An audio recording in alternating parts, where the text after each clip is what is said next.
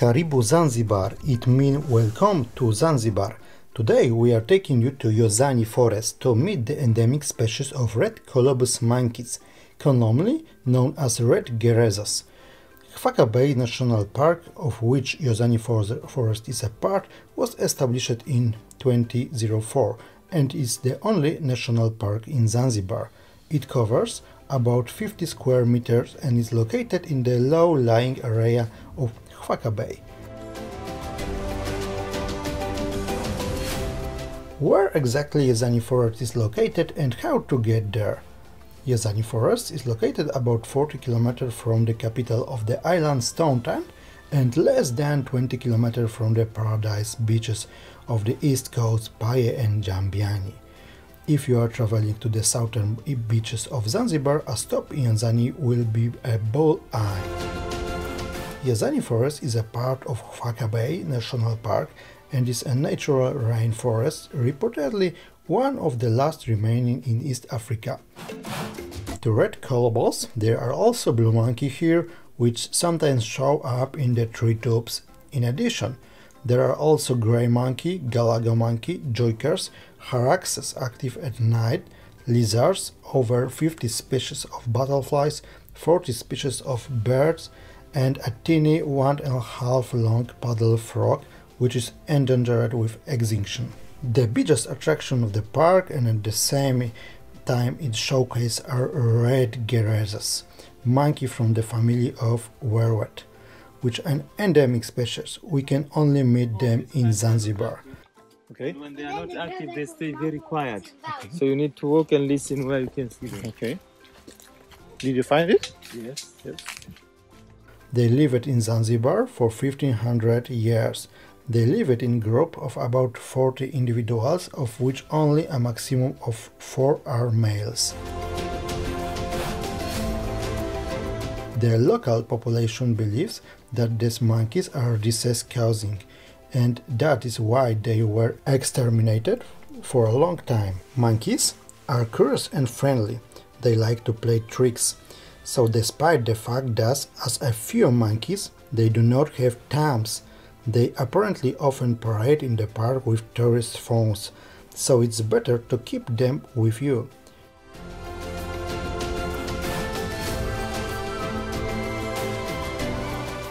Monkeys like to play, easily shorten the distance and enter into relationship with travelers. Despite the consent of ranger, contact with monkeys should be kept to a minimum, as there are risks of contracting disease that could be dangerous to this small population of endangered species.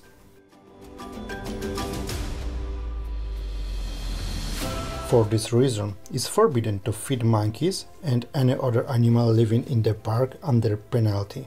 The monkeys get used to it easily and instead of looking for food on their own, they visit nearby villages, searching garbage dumps for food.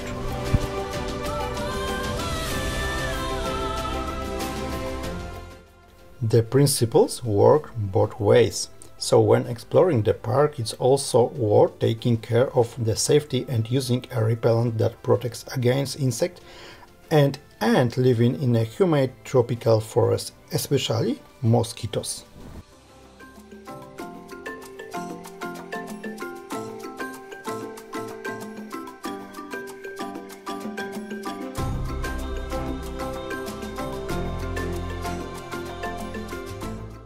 And you can see this monkey is different from the other monkeys mm -hmm.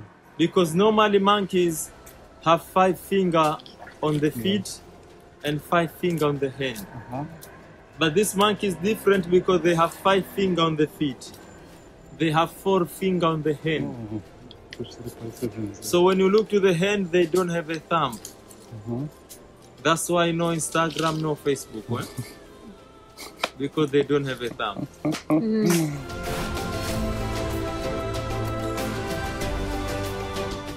Why did the red colobus monkeys choose this place to settle? This question is bothering many scientists and currently remains unanswered.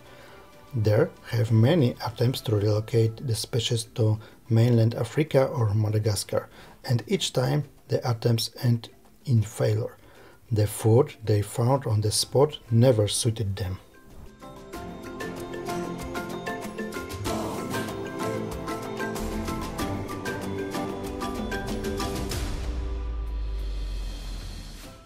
Given the distance of mainland Africa from Zanzibar, this should not cause a huge change in the climate. Yet, for the red colobus species, a specific location is of great importance. On the island, in the Chwaka Bay, a unique ecosystem has formed, which result in ideal condition for the life of endemic species that are now endangered due to the excise economic expansion of Zanzibar.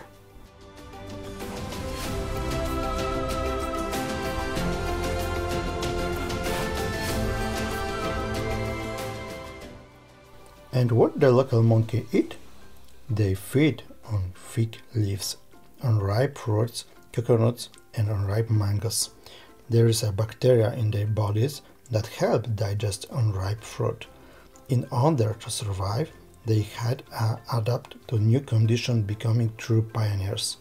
They learned to move according to the rules of the road, heal abdominal pain with alcohol, overcome fear the humans and farm animal.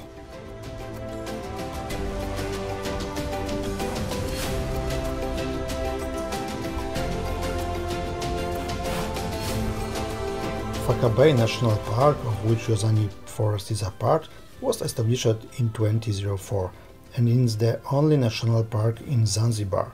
It covers approximately 50 square kilometers and is located in the low-lying area of Chwaka Bay, which is why it's exposed to frequent flooding. Thanks to this, it provides ideal conditions for the development of unique species of animals who like moisture and marshy environment.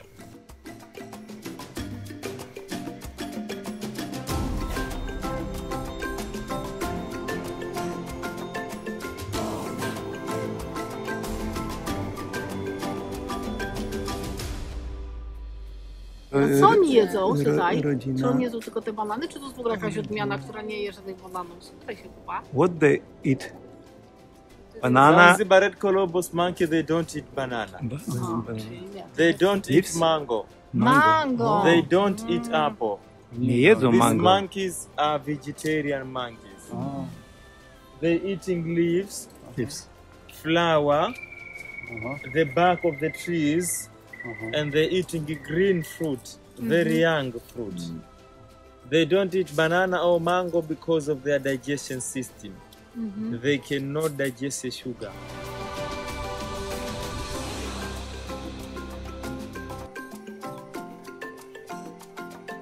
But this monkey is different from the other monkeys. This monkey they can live, they can live longer, like a three months. Three months without drink water.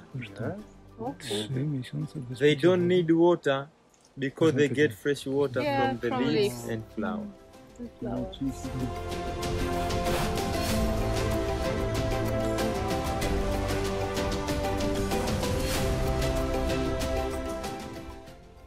We call them Zanzibar red colobus monkeys.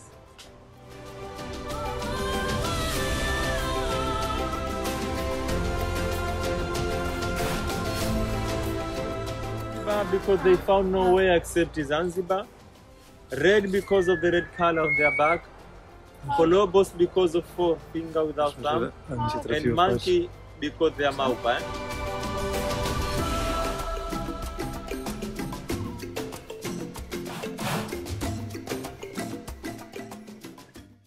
Arriving in the park, we get to the parking at which the reception is located. We buy a ticket and assign a guide. There is also a small museum and free toilet. Most of the park is located on the other side of the main road, crossing by the over huge ropes and ladders on which entire monkey families move.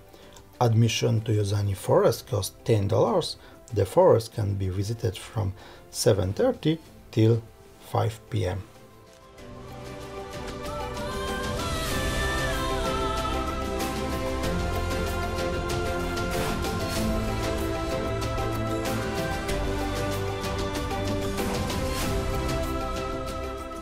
How long does it take to visit the park?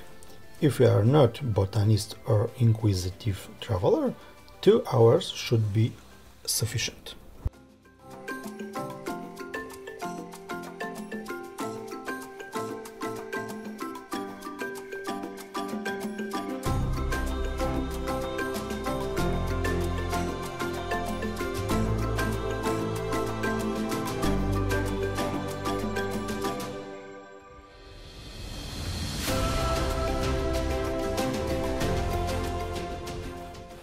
The last, but no less important element of the park is the mangrove forest. We reach it on foot in 10 minutes or by car in 3 minutes. Depending on the water level, we will find roots and mud or high water reaching up to the floor of a newly built footbridge.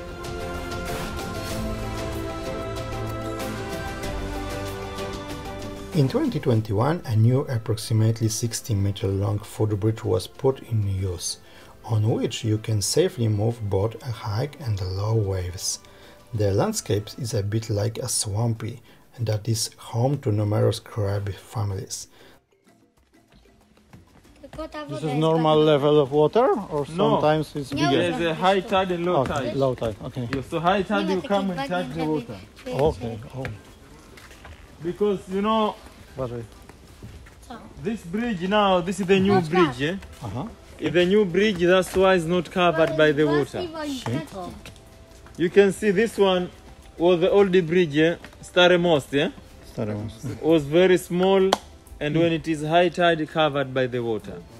So the, the new bridge are much jest nowe, bo higher than the old one.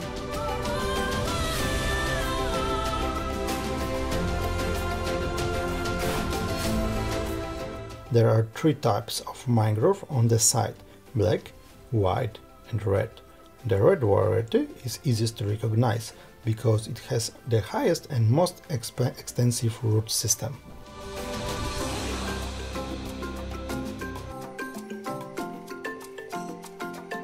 One with the big roots is the red mangrove.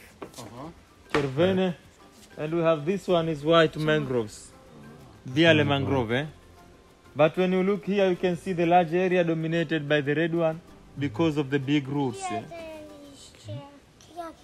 A red, uh, red one inside have the red color? Yeah, red color is inside.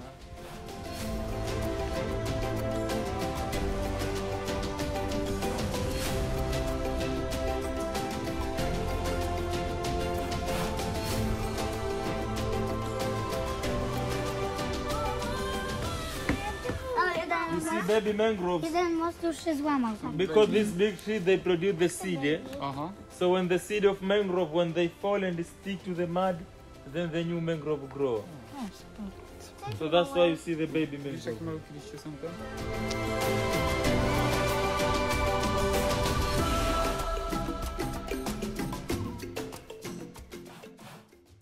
If you like this movie, leave a thumb up and a comment. And if you like our channel, please subscribe. Thank you and see you later.